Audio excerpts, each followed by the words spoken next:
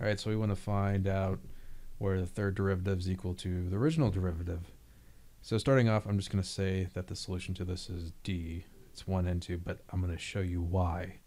So the derivative of e raised to the x is you pull down x, and what happens here, I should say dy dx.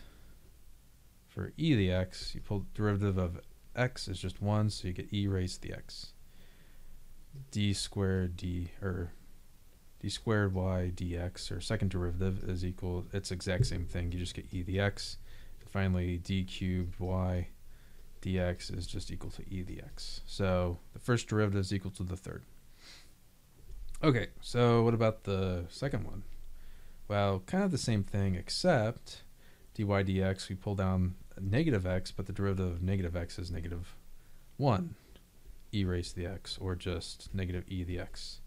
Same thing again, so negative times negative gives us a positive, so we get e raised to the negative x.